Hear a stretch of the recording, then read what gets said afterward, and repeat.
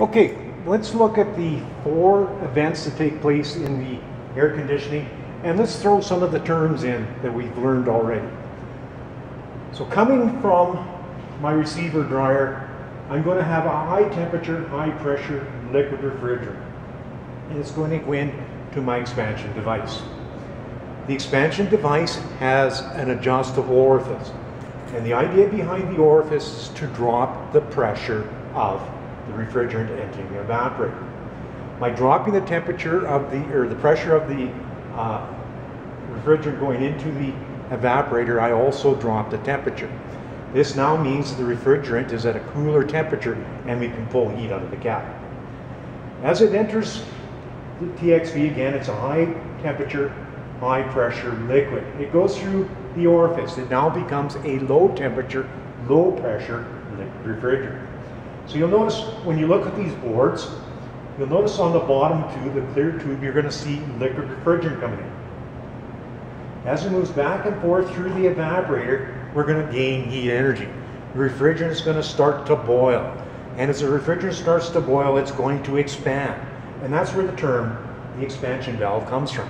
As soon as I get the pressure drop, it gains heat energy, it starts to evaporate and starts to expand. In the center here is another tube. We've talked about latent heat of evaporation. This is where heat energy is absorbed. We go through a state of change with no change in temperature.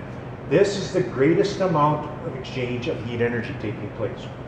So what you'll notice on the center tube is you're going to notice half liquid, half vapor.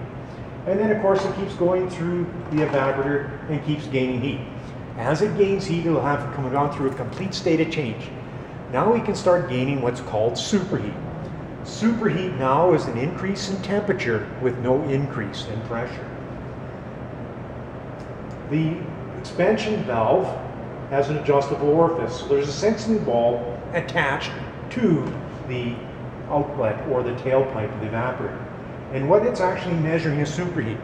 And by controlling or looking at that superheat, it's going to control or try to maintain that state of change taking place very close to the center of the evaporator. So coming out of the evaporator now, we're going to have a low pressure, low temperature vapor. The next event is the compression. So coming into the compressor is a low pressure, low temperature vapor. The compressor is going to do two things for me. One, it's going to pump the refrigerant through the system, but the other thing is actually going to compress the refrigerant. And by compressing the refrigerant, it raises the pressure.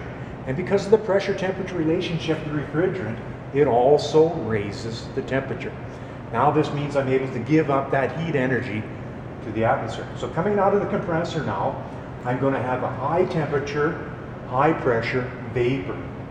It comes into the condenser. And you'll notice when you look at the board, the top tube, you're going to see vapor coming in.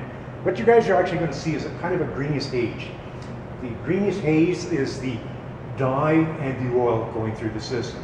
And as it goes back and forth through the system, and ram air or the condenser fan blows across the condenser, we start giving up that heat energy.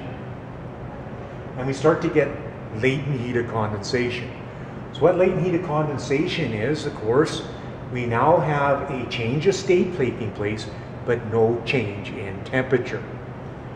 So what you'll notice in the center of the condenser now, we'll start to see half liquid, half vapor. And now, as we start going back and forth through the condenser, it's going to give up some more of that heat energy. And we're going to get what we call subcooling taking place. So subcooling now is a change in temperature and no change in pressure. So what you'll notice coming out of the compressor now, or sorry, out of the condenser, will be liquid refrigerant.